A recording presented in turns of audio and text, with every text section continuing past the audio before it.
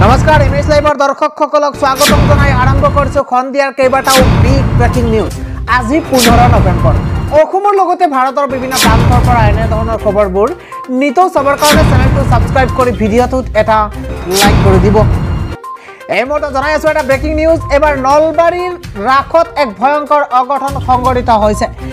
নলবাৰীৰ ৰাসত উপায়ুক্তৰ গাড়ীত গ্লাছ ভাঙিলে আজি দুৰ্বৃত্তই।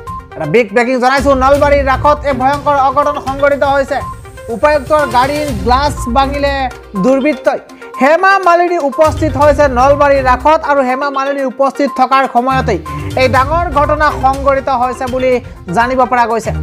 হেমা মালিনী উপস্থিত থকাৰ সময়তে এই ঘটনা সংঘটিত হৈছে আৰু এতিয়ালৈকে দুৰ্বৃত্তক চিনাক্তকৰণ কৰিব পৰা নাই আৰক্ষীয়ে।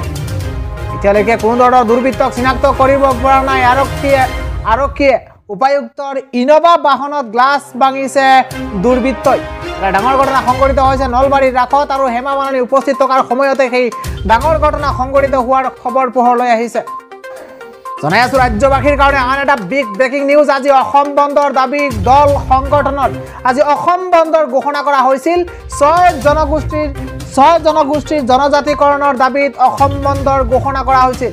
ছয় জনগোষ্ঠীৰ যৌথ মঞ্চই দাবী কৰিছে অসম বন্ধৰ ভিন্ন স্থানত বন্ধৰ মিশ্ৰিত প্ৰভাৱ পৰিছে আৰু ৰাজপথত বন্ধৰ সমৰ্থনত প্ৰতিবাদ কৰিলে গ্ৰেপ্তাৰ কৰিব আৰক্ষীয়ে।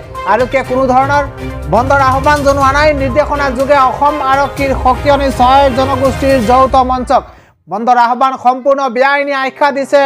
আৰক্ষীয়ে বন্ধৰ কোনো অনুমতি দিয়া হোৱা নাই বুলি আৰক্ষীয়ে ঘোষণা কৰিছে। আজি বন্ধৰ কোনো ধৰণৰ অনুমতি দিয়া হোৱা নাই বুলি আৰক্ষী সূত্ৰই জানিবলৈ দিছে।